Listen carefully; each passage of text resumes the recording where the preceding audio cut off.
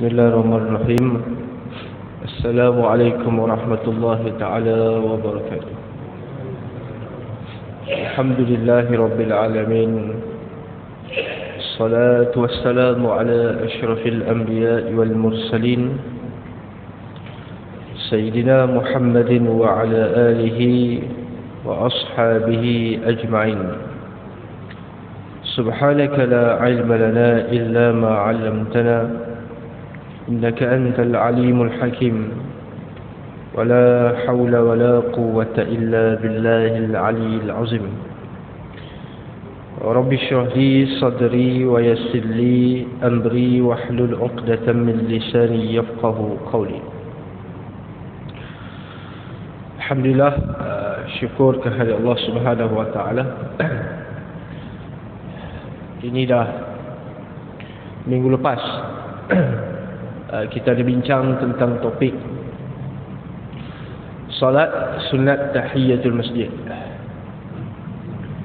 Saya rasa macam dah setiap minggu dah saya ni. Baru minggu lepas ha? Okey ya? Ah bagus.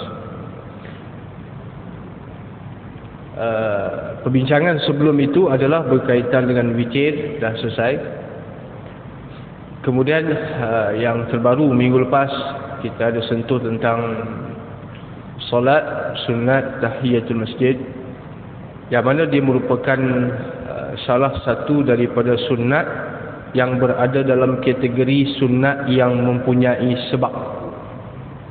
Uh, seperti yang saya jelaskan sunat dia ada dua kategori. Yang pertama sunat yang mempunyai waktu bila kita sebut sunat yang mempunyai waktu dia hanya ada pada waktu dia saja. Ha, seperti tarawih seperti witir ha, seperti gerhana Aidilfitri dan sebagainya. Yang mana hanya dilakukan di dalam waktunya sahaja tidak boleh dilakukan pada waktu yang lain. Kecuali saya sebut kecuali dia sama seperti fardu yang mana fardu kita boleh qada solat fardu kita boleh qada pada bila-bila masa tidak terkait dengan masa tidak terkait dengan uh, tempat sebagai contoh tak semestinya qada solat subuh di dalam waktu subuh kita nak lakukan dalam waktu tengah malam pun boleh Kemudian waktu zuhur tak semestinya dilakukan dalam waktu zuhur. Ini dari sudut sah. Ataupun adapun dari sudut afdal itu lain. Dari sudut afdal kita qada di dalam waktu dia yang sebenar. Zuhur diqada pada waktu zuhur. Maghrib diqada pada waktu maghrib. Itu dari sudut keafdalan ataupun dari sudut sah mana-mana waktu boleh sama juga solat sunat yang mempunyai waktu ada yang boleh diqada dan ada yang tidak boleh diqada solat sunat yang mempunyai waktu ataupun solat sunat maaf solat sunat yang mempunyai waktu tidak boleh diqada solat sunat yang mempunyai sebab juga tidak boleh diqada. Ada keliruan. Sebagai contoh, kalau saya nak qada solat tarawih sekarang boleh tak? Sebelum ni bulan Ramadan ni Allah menyesallah. Tak qada, tak apa tak solat tarawih, tak fokus. Ataupun Aidilfitri tak solat. Aidil Allah. Kemudian rugilah nak qada, tak boleh lah. Waktu dia habis. Kemudian yang kedua yang mempunyai sebab bila kita sebut yang mempunyai sebab, ada sebab adalah solat tu. Bermaksud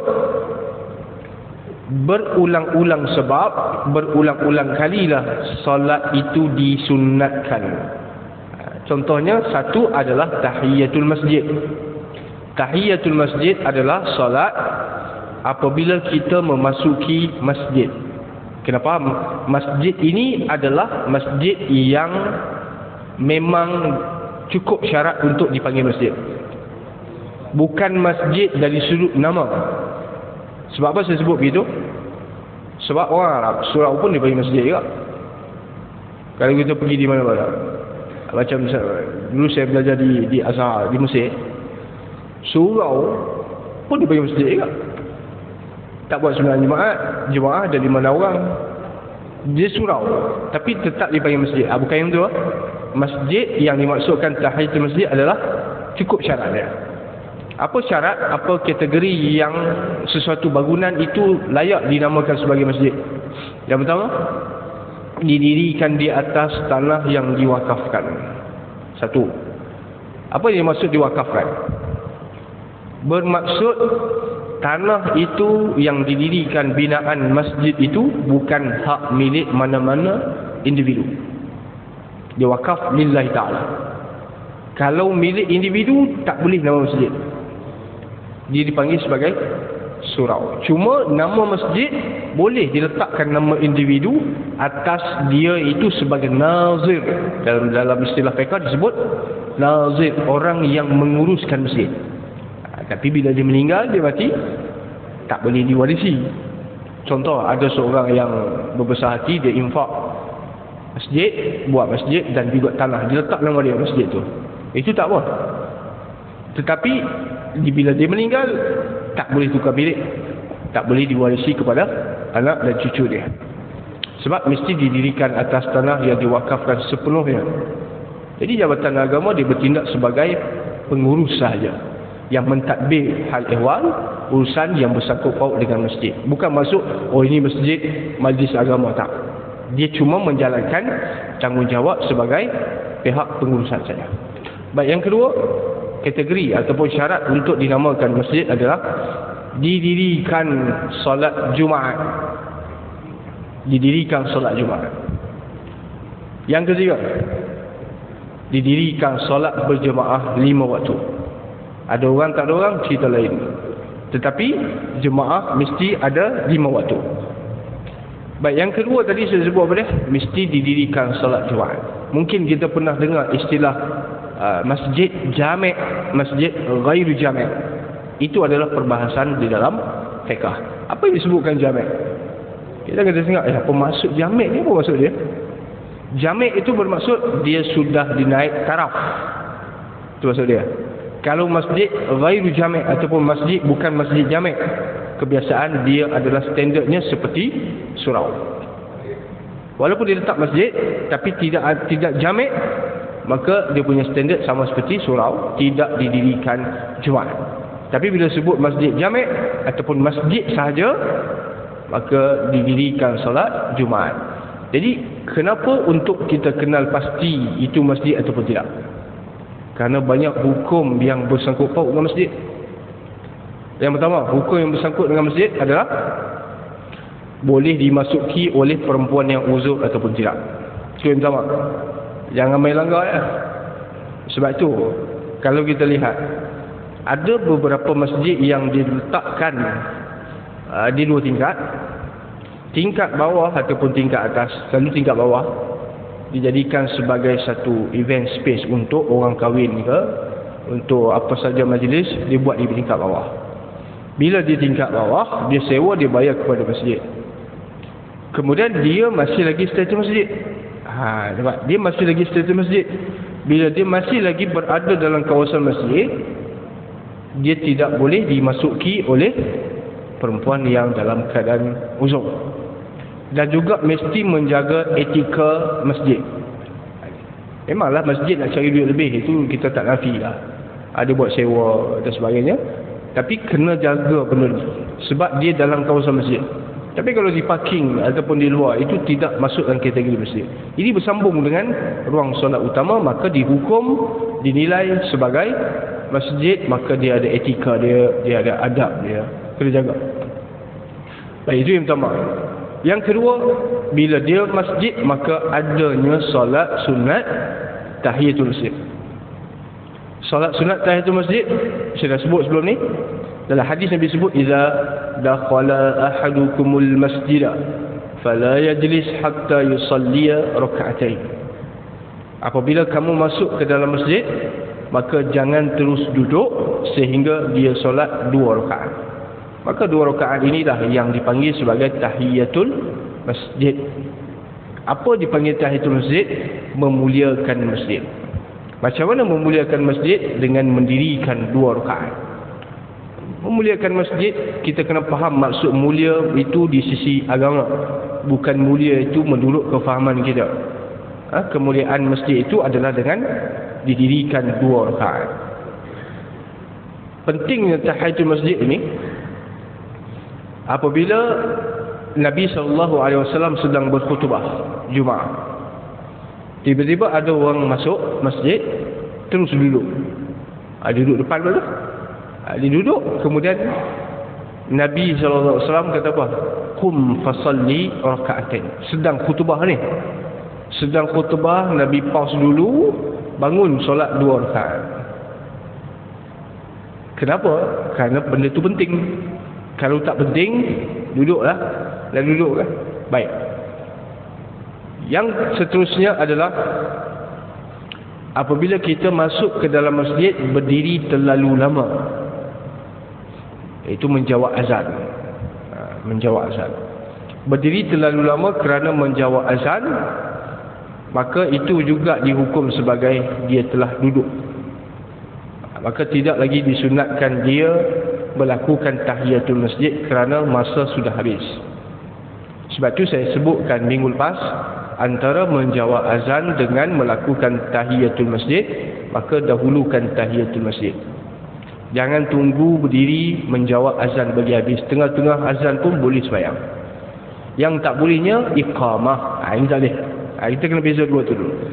Apabila kita masuk masjid sedang azan berkumandang maka antara menjawab azan dengan solat tahiyatul masjid maka dahulukan tahiyatul masjid.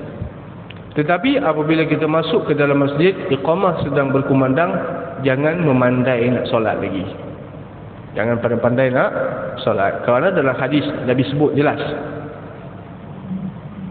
Apa dia dalam hadis tersebut? Nabi kata, "Idza uqimatis shalah fala salata illa al-maktubah." Apabila iqamah sedang berkumandang, maka jangan ataupun maka tidak ada sebarang solat kecuali solat fardu. Apa solat fardu? Kalau iqamah maghrib, maghrib lah. Kalau iqamah isyak, isyak lah. Eh, dia kata sempat lagi ni, iqamah ni lambat. Sempat lagi dua rekat. Jangan. Jangan solat. Walaupun dia solat dengan cepat. Habis kalau orang yang sedang solat. Ah, kadang ni, bila ni muazzin ni dia tak tengok orang. Nak tunggu seorang-seorang habis baru nak iqamah, lambat lah kadang dia tengok ada lagi dia tak perasan ada yang masih sedang solat sunat dia pun iqamah. Allahu akbar Allahu akbar. Asyhadu an la ilaha illallah. Maka yang sedang solat itu jangan dia keluar daripada solat. Walaupun ada yang ber, berfatwa ada yang mengatakan begitu. Adalah saya dengar satu dua ceramah. Dia kata bila iqamah kena keluar daripada solat. Tak boleh. Itu bukan uh, kata apa cara yang betul. Cara yang betul apabila iqamah sedang dikumandangkan, kita sedang solat, maka kita cepatkan solat. Ha, supaya mendapat kelebihan yang lebih utama iaitu mendapat takbiratul ihram bersama imam. Maksudnya mendapat solat di awal takbir Allahu akbar ataupun Allahu akbar. Ha, kerana itu lebih afdal daripada dia semayang sunat pada waktu itu. Tapi kalau nak memulakan tak boleh kalau sedang solat pendekkan jangan main keluar saja. Baik. Kemudian banyaklah uh, tentang kedudukan saf ni. Uh, ini selingan yang saya nak sebut sikit. Tentang uh, memang ada kelebihan khusus tentang kedudukan saf ni. Uh, ini banyak kali ulang pun tak apa. Ada kelebihan khusus saf yang pertama yang kedua, yang ketiga dan seterusnya. Kelebihan itu sehingga baginda mengatakan kalau kamu tahu apa ganjaran yang Allah nak beri pada orang yang duduk di saf awal kamu sanggup untuk buat undi. Siapa yang berhak untuk duduk di depan? Jadi sahabat tahu tak? sahabat tahu. Sebab itulah para sahabat ini mereka menjadi antara orang yang berebut untuk duduk depan berebut untuk duduk di depan macam mana siapa datang awal dapat lah Siapa lambat lambat. Baik, itu ada yang kerana mereka salah yang pertama adalah tahu dan juga nak dua. Kita tahu tapi tak nak. Ha. Beza eh? Kita dengan sahabat, sahabat tahu. Kelebihan tersebut Nabi bagi tahu gini gini begini. Dan keinginan mereka itu ada. Kita tahu walaupun disebut berpuluh kali pun tahu tapi keinginan itu tidak ada. Sebab itu bila ada soft di depan kosong bukan nak masuk. Bagi orang masuk. Ha, suruh orang sebelah dia penuhkan depan. Ha, ataupun sebelah kiri penuh ke depan. Dia tak masuk. Sebab apa dia tak bergerak daripada tempat dia soft kedua tu. Sedangkan ada kosong di depan dia. Malas nak berjalan satu. Mungkin. Yang kedua mungkin tempat dia duduk tu dah bawa kipas angin elok eh. Kalau dia masuk soft depan tu tu lagi angin panas. Ha, tu mungkinlah faktor. Tapi kita tengok benda kita orang kata apa tak jadi satu benda yang uh, sensitif benda ni. Ha?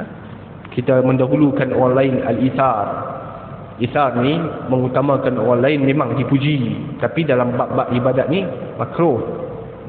Ha, dalam hal-hal berkaitan ibadat al-ithar bil qurabi makruhun.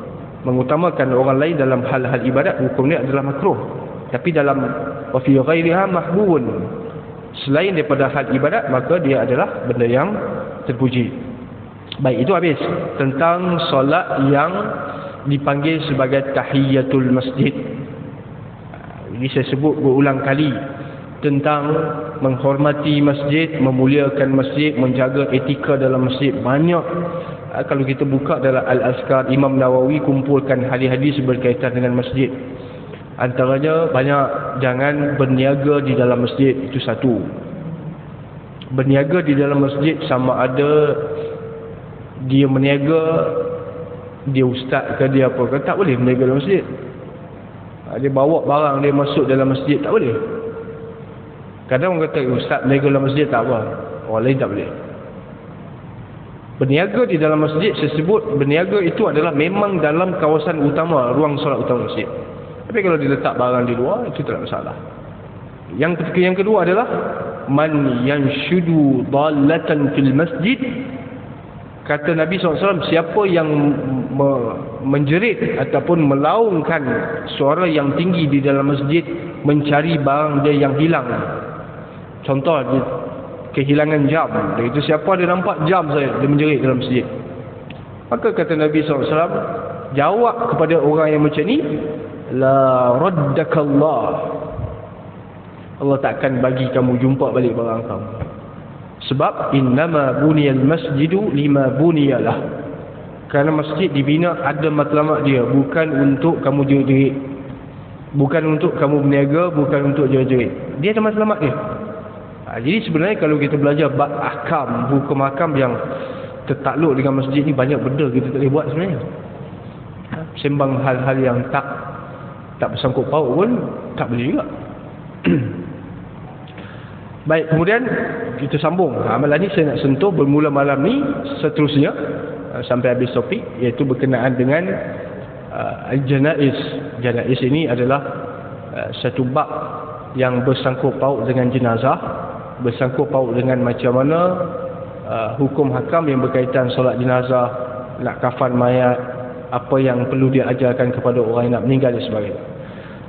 Baik, yang pertama hadis daripada Ummu Salamah radhiyallahu taala anha qalat dakhala Rasulullah sallallahu alaihi wasallam ala Abi Salamah faqad shaqqa basaruhu fa aghmada thumma qala inna ruha idza qubida tabi'ahu al-tabi'ahu al-basar فضج الناس من أهلي فقال لا تدعوا على أنفسكم إلا بخير فإن الملائكة يؤمنون على ما تقولون daripada Ummu Salamah radhiyallahu taala anha Ummu Salamah ni dia adalah ummul mukminin isteri Nabi sallallahu alaihi wasallam sebelum dia berkahwin dengan Rasulullah suami dia bernama Abu Salamah itu gelaran dia.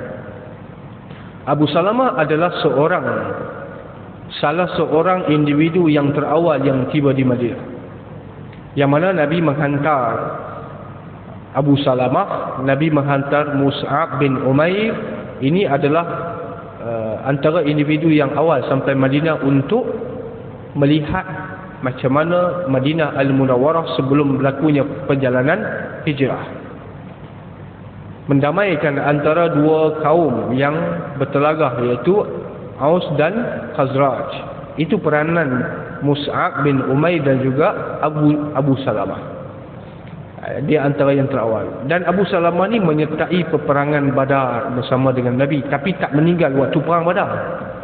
Dia meninggal setelah habis peperangan bila meninggal Abu Salamah Nabi ziarah. Nabi ziarah pada waktu meninggalnya Abu Salamah apa yang berlaku adalah waqad syaqqa basaruhu. Mata terbeliak. Ha mata terbeliak ni maksudnya mata terbuka. Kita kalau orang kita bila ada orang meninggal mata terbuka ni jangan kita anggap benda itu adalah satu benda yang tak elok. Kan kita tahu mata terbuka ni tanda mati tak baik bukan? Abu Salamah mati dalam keadaan mata terbuka. Kemudian Nabi SAW tutup dengan mengusap daripada atas dahi. Ini apabila kita berinteraksi dengan orang yang hampir meninggal ataupun dipanggil waktu ghargharah. Waktu ghargharah ni waktu nazak perkara yang dilakukan oleh Nabi adalah dengan ambil daripada ubun-ubun di atas. Pegang di atas nanti cara nak tutup mata ni. Tolak ke bawah dengan Nabi macam Allah maghfirli abi salamah. Ha, itu kalau orang tu nama Ahmad Allah maghfirli Ahmad. Ataupun tak tahu nama dia Allah maghfirlahu kalau perempuan Allah maghfirlaha itu cara Nabi tutup mata orang yang meninggal dunia dengan membaca doa Ya Allah ampunkan dosa Abu Salamah. Ya Allah ampunkan dosa dia. Ha, kalau kita tak tahu nama dia, kita cukup dengan mengatakan Allah hummaghfir lahu. Kemudian baginda mengatakan inna ruha idza qubida tabi'ahu al-basar. Nabi mengatakan sesungguhnya ruh ini apabila dicabut, apabila ditarik oleh Allah Subhanahu wa taala, tabi'ahu al-basar, mata dia akan ikut dia akan lihat ke mana roh tu pergi. Sampailah roh itu hilang mata dia terbuka. Ha, jadi kalau mata terbuka itu adalah normal perkara biasa. Ha, kita jangan anggap benda-benda eh, bila dah meninggal tu tengok eh ni mata terbuka ni. Ha, ni orang kita biasa lah kan. Ha, suka sangat gosip-gosip orang dah mati dah pun. Dan juga dalam hadis ni juga Nabi mengatakan Tad'u ala ahli ala anfusikum illa bi khair. Sunat kita mengucapkan yang baik-baik saja untuk si mati. Orang yang dah meninggal jangan cakap benda yang tak baik. Walaupun kita tahu dia tak baik, tapi sunat kita mengucapkan perkara yang baik kepada si mati tentang si mati, tentang orang yang dah meninggal kerana Nabi menyebutkan fa innal malaikata tu'amminun. Kerana malaikat mengaminkan ala ma taqulun ke atas apa yang kamu katakan. Jadi termasuk di dalam doa saya tak pasti di tempat ataupun di kawasan ini ada melakukan ataupun tidak lepas daripada salat jenazah. Masa lepas salat jenazah kebiasaan ada beberapa tempat imam membaca apa dia Mada taqulu ala hazal mayyit? Ataupun ala hazihil mayyitah apa kamu nak ucapkan kepada mayat ini? Itu kadang orang marah cakap macam tu dia kata mana ada sandaran mana ada hadis? Nabi tak pernah ucap begitu pun. Eh, ini perlu kita tahu. Sebab tu saya ulang kali saya sebut hadis nak faham ini bukan satu benda yang mudah. Hadis nak faham bukan satu benda yang senang. Kadang-kadang hadis itu boleh memberi orang jadi sesat. Sufyan As-Sawri dia mengatakan al-ahadis mudillatun illa 'alal fuqaha. Hadis itu ada potensi boleh menyesatkan orang. Macam mana? Dia salah faham. Kecuali atas orang yang disebut sebagai fuqaha, dia tahu nak apply hadis itu macam mana. Tapi kalau orang tak tahu nak apply, bagi spanner dekat dia, bagi player dekat dia, habis rosak barang. Dia tak tahu nak guna. Dia tak tahu nak apply hadis itu macam mana, dia tak tahu nak apply ayat Quran itu macam mana. Jadi dia sekadar membaca zahir, dia faham literal, itu saja. Itu yang menyebabkan berlaku banyak salah faham. Jadi ada di dalam kitab kitab para ulama dalam mazhab Syafi'i menyebutkan bila meninggal sunat sunat imam juga apa? Apa kamu nak kata pada ini mayat? Ada yang kalau buat buatlah, kalau tak buat tak ada masalah. Jadi mereka berdalilkan mana bukti dia? Hadis ni. Fa innal malaikata tu'minun ala ma taqulun. Kerana malaikat mengaminkan apa yang kamu cakap. Oh dia kata tipu malaikat lah tipu Allah bukan itu salah satu doa salah satu daripada doa minta yang baik-baik sebab dalam hadis lain Nabi kata apa? La tasubbul amwat. Jangan kamu menghina mencaci maki mengherdik orang yang dah meninggal. Kerana mereka akan dapat balasan apa yang mereka akan dapat nanti. Kamu tak tahu macam mana? Mereka akan dapat balasannya kamu juga akan dapat balasan. Nabi SAW apabila meninggal satu orang nama dia Najasyi. Najasyi ni uh, dan juga satu lagi individu nama dia Tubbak. Tubbak ni kalau kita buka dalam Quran wa qaumu tubba'in. Tubbak ni kaum dia tak beriman. Sebab tu dalam Quran Allah Subhanahu wa taala menghina kaum dia tetapi Tubbak ini pemimpin Yaman ini dia beriman ha, dia, dia beriman begitu juga Najasyi An-Najasyi satu orang raja yang memimpin yang memerintah Habsyah ataupun sekarang ni dipanggil Ethiopia. Dia ini beriman pada zaman Nabi SAW dia masuk Islam tapi dia tidak menzahirkan Islam dia. Kerana takut dibuang oleh kaum dan rakyat dia. Jadi di Islam sesenyap dia. Percaya dengan Nabi. Dia ini orang yang berpegang kuat dengan Nabi Isa AS bermaksud Nasrani lah. Tapi bila dia tahu ada sahabat yang hijrah pergi ke Habsyah kemudian ajak memeluk Islam memeluk agama Nabi SAW dia beriman senyap bila dia beriman senyap seorang pun tak tahu. Ha? rakyat dia tak tahu dia beriman. Tapi bila dia mati di Habsyah Nabi duduk di Madinah tahu Ha, dia meninggal di Habsyah. Nabi yang berada di Madinah tahu. Nabi kata kepada sahabat jom kita solat gaib. Ha, ini solat gaib yang pertama yang berlaku pada zaman Nabi SAW iaitu solat ke atas jenazah pemimpin ataupun Raja Habsyah iaitu An-Najasyi itulah dipanggil solat jenazah gaib.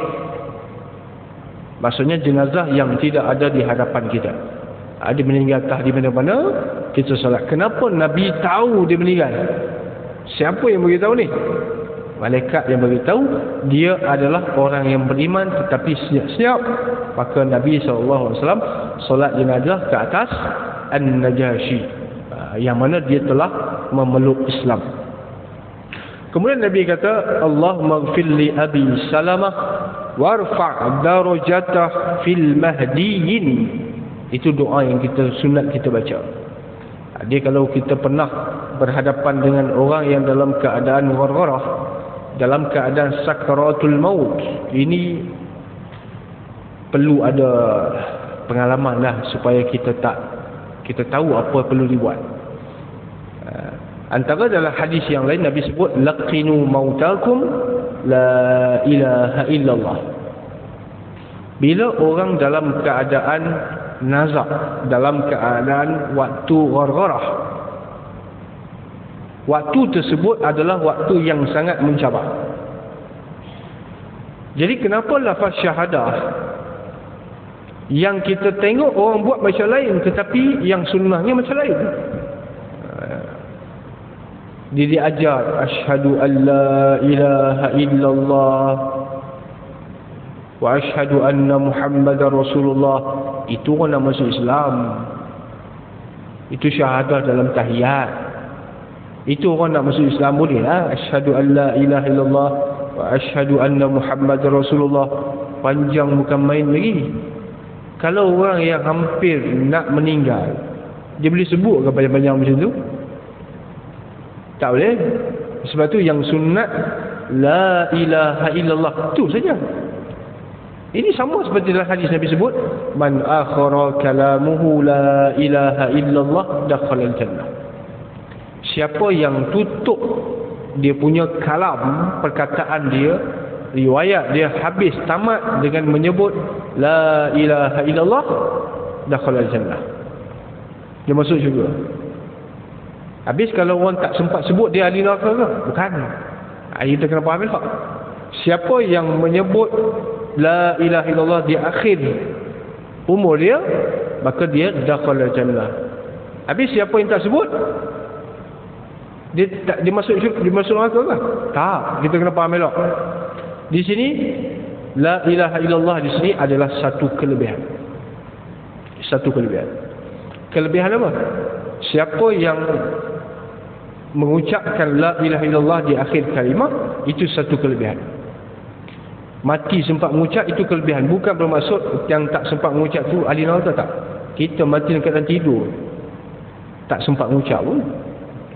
Di sini kalau kita tengok aturan daripada Allah Subhanahu Wa Taala cantiklah pertama kita keluar daripada perut ibu.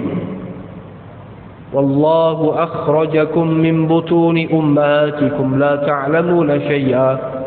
Allah sebut dalam Quran Allah mengeluarkan kamu daripada perut ibu dalam keadaan kamu tak tahu apa langsung. Mana ada orang keluar-keluar tu yang pandai? Kecuali dia ni Nabi Isa je lah kan? Keluar-keluar dah boleh bercakap lah. Ini manusia biasa keluar-keluar la ta'lamu la syai'a. Allah kata tak tahu lah, satu pun. Wa ja'ala lakumus sam'a wal absara wal afilah la'allakum tashkurun. Allah ciptakan Allah berikan pendengaran penglihatan akal fikiran. Itu bila? Selepas itu. Tapi Allah highlightkan yang pertama adalah as-sam'a pendengaran. Allah tidak mengatakan mat penglihatan dulu tapi Allah sebut pendengaran dulu. Maka di sini para ahli tafsir telah bincang. Mereka mengatakan antara alat yang berfungsi bagi kanak-kanak adalah pendengar. Penglihatan berfungsi juga. Dia tengok dia tak campur orang lagi. Betul. Dia tengok mak ayah dia pun dia tak kenal. Budak. Akal fikiran lagilah tak ada. Tapi pendengaran ada. Maka di sinilah sunat azan di telinga bayi. Sunat azan dan iqamah perkataan yang mula-mula dia dengar adalah Allahu Akbar kataan yang pertama adalah Allah. Dan sampailah dia besar kemudian dah tua kemudian meninggal. Maka perkataan yang akhir disebut adalah La ilaha illallah. Maka di awal dia dengar kalimah Allah maka di akhir dia tutup dengan kalimah Allah. Ini adalah percaturan daripada Allah Subhanahu Wa Taala. Eloklah. Tapi jangan tengah-tengah tu tak elok. Mula elok dengar azan semua, tengah tak elok. Mati elok balik. Harapnya begitulah. Kan? Sebab yang betul-betul Allah nilai adalah tak ujungnya. Innamal ibratu bil khawatim. Nabi kata yang Allah nilai adalah ujung. Macam mana dia tutup, macam mana dia sudah. Itu sunat kita baca Allah makhtim lana bi husnil khatimah wala takhtim alaina bi su'il khatimah. Sebab dalam dalam uh, surah an'am uh, saya nak kongsi satu. Ada seorang individu yang Allah Subhanahu wa taala sentuh dalam Quran iaitu surah an'am. Ayat berapa saya tak ingat eh? uh, susah juga nak ingat angka-angka ni. Angka-angka ni kalau angka duit dia ingat lah kalau angka bilangan ayat Quran ni susah nak ingat satu individu yang Allah tak highlightkan nama dia tetapi Allah sebut sifat dia maka ulama telah bincang dia yang dimasukkan adalah Bala'am. Kalau syi'na la rafa'na. Kalau kami nak kami akan angkat matabat dia. Kami akan mengangkat matabat dia tinggi daripada orang lain. Seorang ulama yang hebat orang soleh amal banyak. Tapi Allah subhanahu wa ta'ala kata dia ni mati dalam keadaan hina Meskipun permulaannya bagus Tetapi dia mati dalam keadaan hina. Hinanya ni apabila Allah Subhanahu Wa Taala bandingkan dia seperti anjing. Dia sebut anjing ni hina lah. Kalau orang panggil kita anjing kita marah. Kan? kalau orang panggil kita lembu tak apa nak marah sangat. Tapi bila orang sebut anjing ni marah. Inilah yang Allah Subhanahu Wa Taala kata apa famathaluhu kamasalil kalbi perumpamaan yang selayak diberikan oleh golongan ini orang ini adalah anjing. In tahmil alaihi alhas anjing dia suka jilat. Ha, begitulah Allah sebut kalau kamu dukung dia dia jilat kamu. Au tatruku yalhas kalau kamu sepak terajang dia pun dia jilat kamu juga dalika masalul ladina kazzabu biayatina. Inilah perumpamaan yang selayak diberikan bagi orang yang mendustakan ayat kami iaitu at-taurat. Mendustakan ayat kami iaitu Nabi Isa alaihi salam kerana dia berada pada zaman Nabi Isa. Kemudian Allah tutup ayat itu dengan apa? Faqsusil qasasa la'allakum yatafakkarun ceritakanlah kisah-kisah dalam Quran supaya kamu fikir. Ha, maka menceritakan kisah-kisah individu yang ada dalam Quran itu adalah satu ibrah untuk diambil pengajaran. Macam mana orang hebat amal banyak pun mati dalam keadaan su'ul khatimah. Bahkan lebih teruk lagi Allah subhanahu wa ta'ala umpamakan dia macam anjing. Tu orang baik orang alim. Sebab tu Nabi ajarkan kita doa, Allahumma khtim lana bi husnil khatimah wa la takhtim alaina. Ada imam dia baca sama ya. Allahumma khtim alaina bi husnil khatimah wa la takhtim alaina juga. Insyaallah bacaan tu. Yang sebenar Allahumma khtim lana wa la takhtim alaina. Itu dalam kaedah bahasa Arab dia kalau baca Allah makhtim alina salah. Habis. Kalau kuliah saya, saya rasa jam ni macam cepat. Ada orang ejas kot. Baik. Doa yang Nabi baca, ampun Abu Salamah, warfa' darajatahu fil mahdiyin. Ini kita boleh baca juga. Bila kita tutup mata jenazah, Allah maghfir lahu warfa' darajatah fil mahdiin maksudnya apa ya Allah ampunkan dosa orang ini dan tinggikan kedudukan dia fil mahdiin ha, pada tempat yang tertinggi. Maksudnya tinggikan darjat dia di sisi di sisimu ya Allah. Itu maksud salah satu daripada doa perkara yang baik-baik untuk orang yang dah meninggal dunia. Seperti yang Nabi lakukan kepada Abu Salamah radhiyallahu taala anhu. Wallahu subhanahu wa taala a'lam بسم الله الرحمن الرحيم. اللهم آتنا رحمة من عندك وعلمنا من لدنك علما. ربنا آتنا في الدنيا حسنة وفي الآخرة حسنة وقنا عذاب النار. وصلى الله وسلم عليه والحمد لله رب العالمين.